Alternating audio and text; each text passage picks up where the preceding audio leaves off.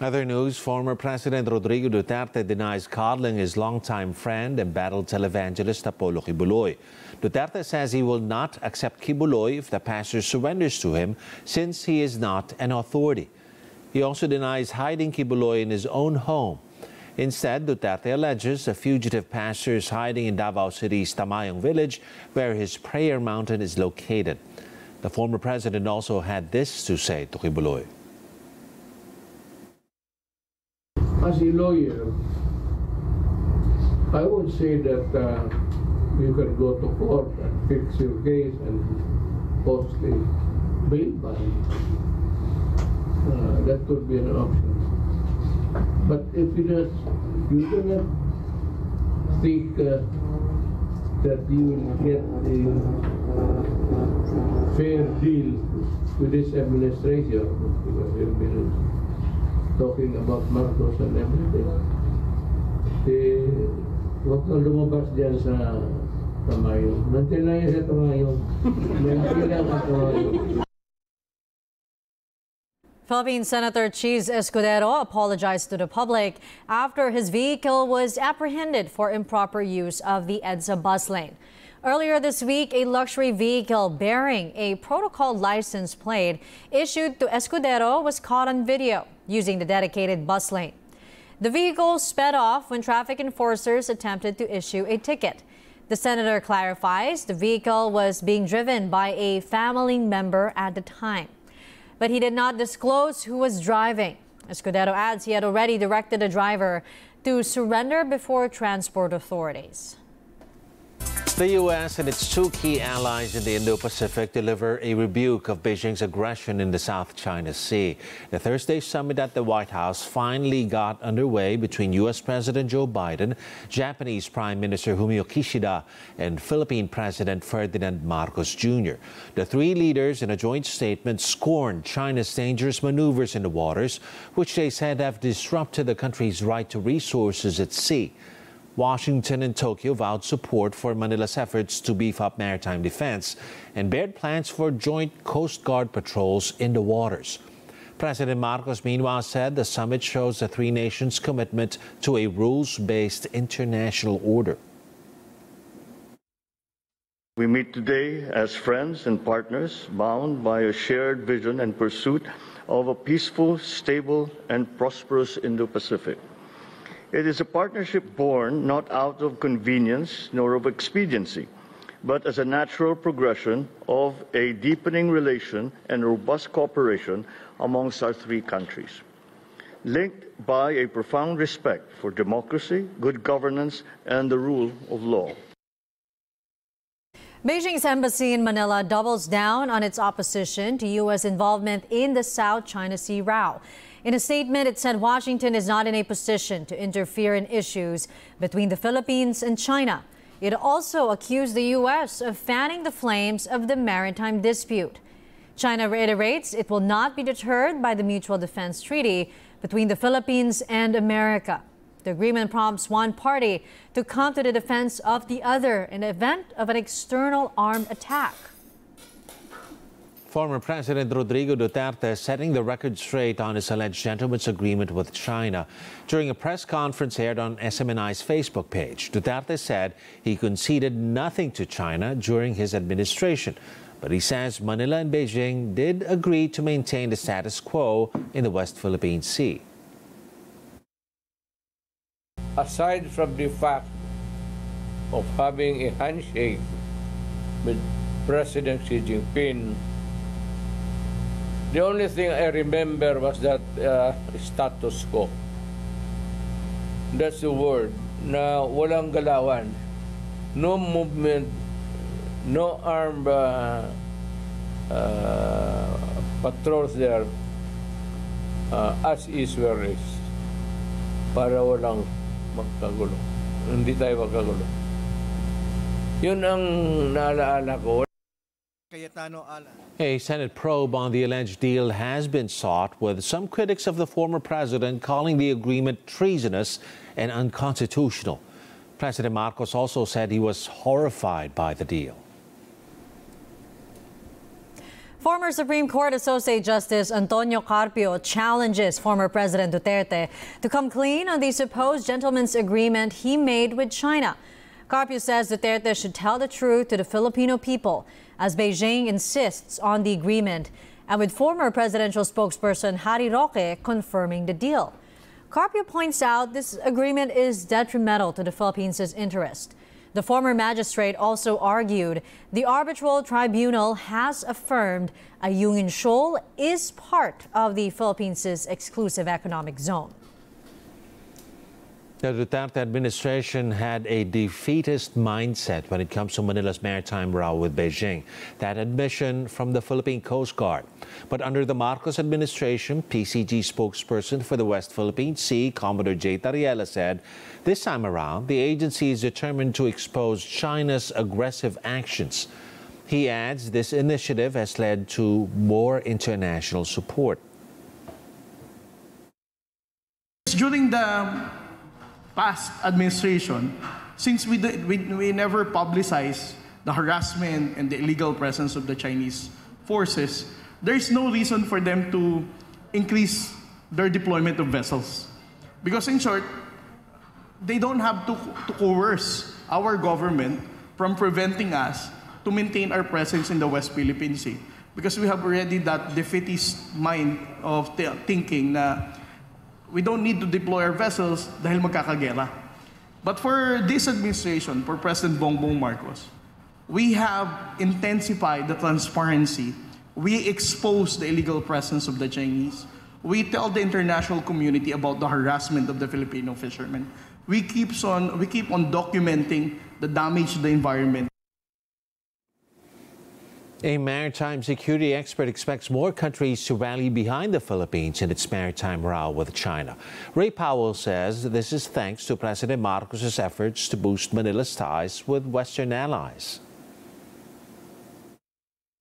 What you will see is an increasing uh, involvement of other U.S. allies. We're looking at um, you know, uh, joint sails, not just with uh, Japan, Philippines, and the U.S., but also, of course, Australia, I expect that probably we'll see other European countries join in in the in those uh, joint activities in the West Philippine Sea. Of course, in Balikatan, we're going to have a French ship. Um, so you know, I think that there will be a lot more involvement from other powers, not necessarily ASEAN powers. I give all the credit in the world to the Marcos administration for the, its, its transparency campaign, which I really believe brought this about. On the economic front, the trilateral summit in Washington ended with Manila receiving key commitments from its allies. The U.S. and Japan agreed to help the Philippines develop an economic corridor in Luzon, which will support connectivity between Subic Bay, Clark, Manila, and Batangas. Through the Luzon corridor, the allies will commit to accelerating coordinated investments in high impact infrastructure projects. This is the first corridor in the Indo-Pacific. It means more jobs for people across the entire region. It means more investment in sectors critical to our future. Clean energy, ports, railroads, agriculture, and much more.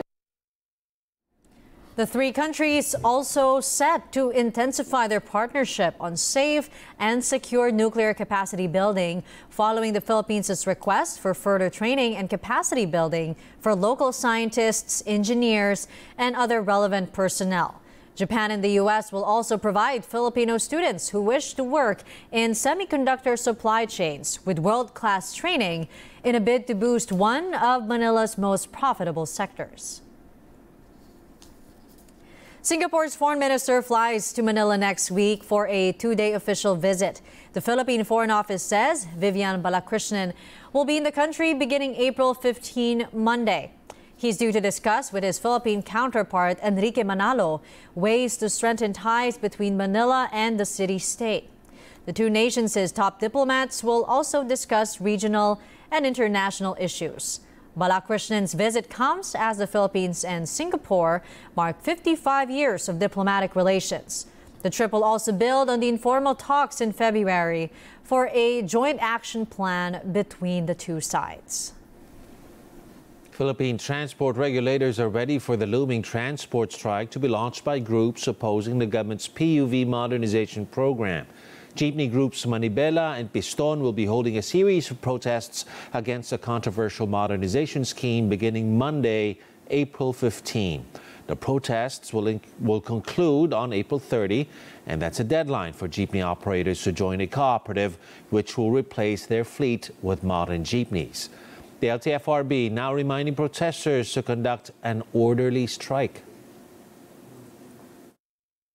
Pinaghanda na po namin yung paglalagay ng mga rescue vehicles po sa mga possible areas na magkakaroon po ng problema. There are about four areas po na natukoy ho namin na pwedeng magkaroon ho ng shortage sa public transport. Magpapakal po kami ng mga MMDA po at saka police to maintain peace and order. Kasi po ang palagi naming napapansin, hinaharang po yung mga pampublikong sasakyan na wala naman pong balak sumama sa kanila. Kuminsan ho nagtatapon ng spike sa daan para po yung mga goma ng mga ayaw sumama sa kanila ay mabutas The Philippine National Police says it will deploy vehicles to aid affected passengers.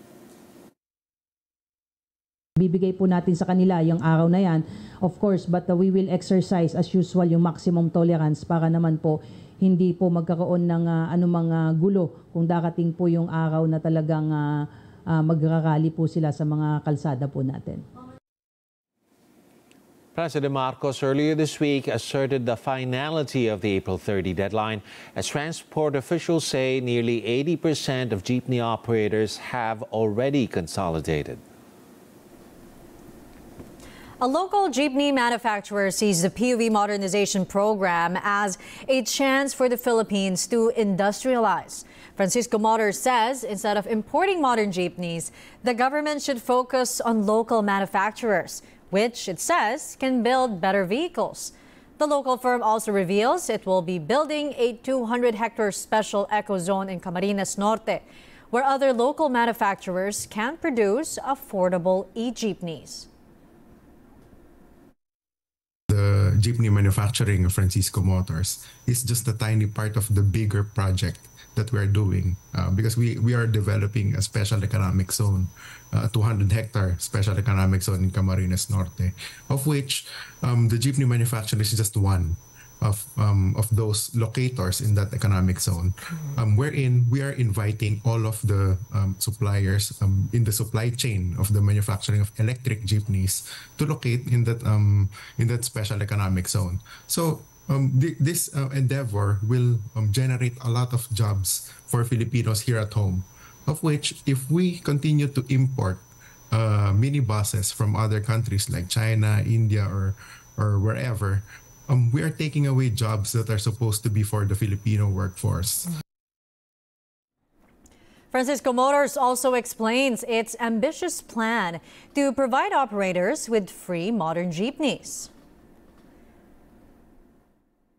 Ang pwedeng sumali dito ay yung mga uh, jeepney operators with valid franchises. So it could be ano yung mga transport cooperatives, transport corporations. Lahat ng sasali, meron sila mga lumang jeep.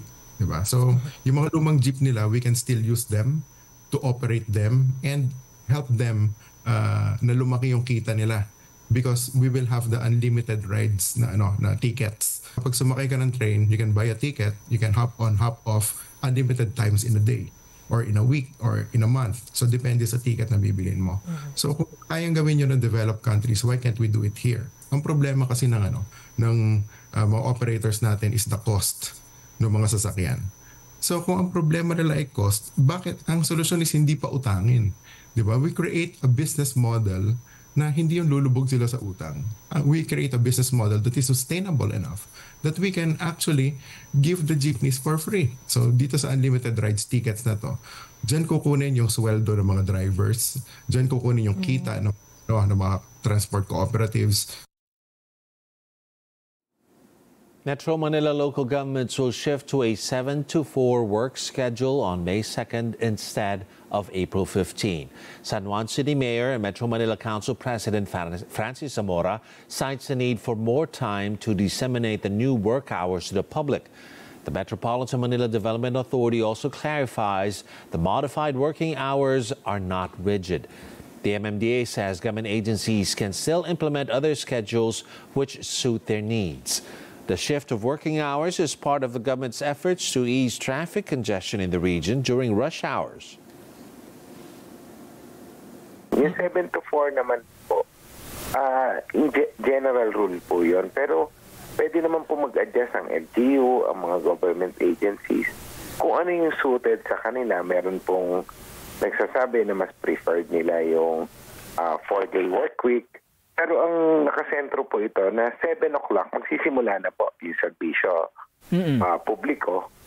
At natatapos po ng 4. Yung iba naman po, um, ang gagawing four-day work week tapos alternate po para lang po maikalat yung ating mga empleyado sa mas maraming oras o araw para po hindi po magkasabay-sabay Apo. sa pag-commute. Meanwhile, the Metro Manila Council says some government workers will stay in their offices until 5 in the afternoon to cater to the public as they adjust to the new schedule. Hindi naman po makakadisrupt sa serbisyo ng uh, lungsod ang isang oras. At uh, mag-iiwan naman po tayo ng skeletal force from 4 p.m. to 5 p.m. for frontline services dahil uh, baka meron pa rin mga darating po uh, between 4 p.m. to 5 p.m. Asahan po nila na meron pa rin skeletal workforce na may iwan po sa City Hall. Let's now check on the weather here in the Philippines with Pagasa forecaster Ana Cloren. Anna? Yes, good afternoon, Denise. The easterly is still prevailing over the whole archipelago, and this will bring cloudy skies or partly cloudy to cloudy skies with isolated rain showers or thunderstorms mostly in the afternoon or evening here in Metro Manila and the rest of the country. Currently, we're not monitoring any weather disturbance that may affect the country for the next three to five days. And the temperature range here in Metro Manila for tomorrow will be around 25 to 35 degrees Celsius. In Baguio City, 17 to 25 degrees, and in Tagaytay is 23 to 33 degrees Celsius. And that's the latest from Pag-asa. This is Ana Clauren. Good afternoon. Thanks, Anna.